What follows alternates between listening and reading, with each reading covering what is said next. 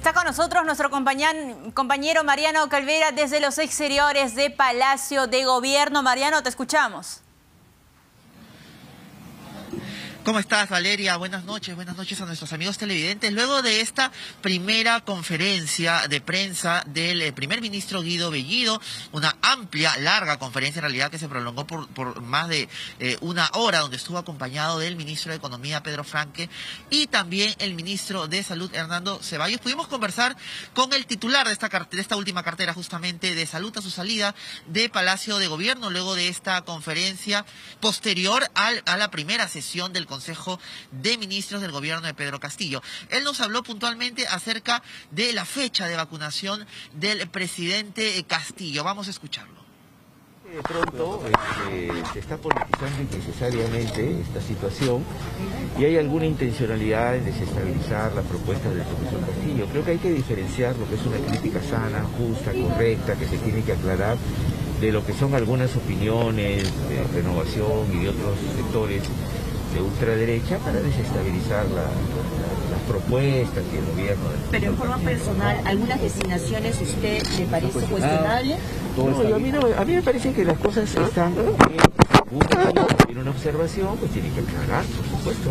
Claro, señor ministro no quedó claro la posición de gabinete sobre Venezuela sufre mucho los venezolanos aquí en Lima. Para usted... Sí, por supuesto, hay una situación complicada en Venezuela que el pueblo, pueblo venezolano resolverá. Sí, sí, mañana a las 9 en, en, en San Juan del Urigancho.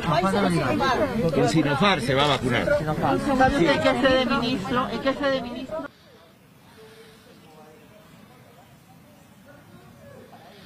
Bueno, acabamos de escuchar, eh, Valeria, al ministro de Salud, Hernando Ceballos, donde no solamente habló puntualmente sobre la fecha y el lugar de vacunación del eh, presidente Castillo, sino también de otros temas que ya se habían abordado en esta conferencia de prensa, pero donde se le reiteró su opinión acerca de lo que está ocurriendo con Venezuela, hemos escuchado puntualmente, y también sobre los cuestionamientos a los nombramientos de funcionarios públicos en este momento en el gobierno de Pedro Castillo, que aparentemente no cumplen con los perfiles o los requisitos para asumir estos roles en el Estado. Hemos escuchado puntualmente el día de mañana a las 9 de la mañana el presidente Pedro Castillo se vacunará en San Juan del Urigancho.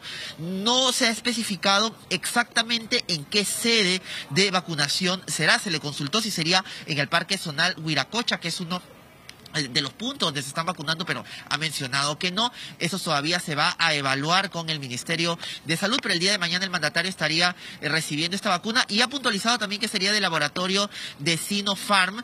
Ha eh, recalcado esto porque, como sabemos, ha habido ciertos cuestionamientos al uso de estas vacunas en este nuevo grupo de personas que serán vacunadas en las próximas semanas.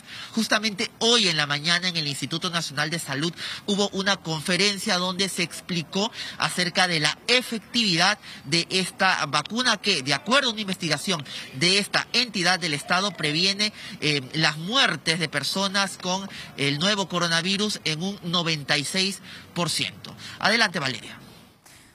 Muchísimas gracias a nuestro compañero Mariano Calvera y nuevamente recalcar que esta vacuna de Sinopharm que se va a aplicar en los próximos días en la vacunatón de este fin de semana sí es efectiva, sí funciona. Así que si le toca eh, la vacuna, acudir a este proceso de inmunización, vaya con toda la confianza y por supuesto siempre es bueno ir a la fuente oficial y basarse en estudios científicos que puedan avalar esta efectividad de la vacuna.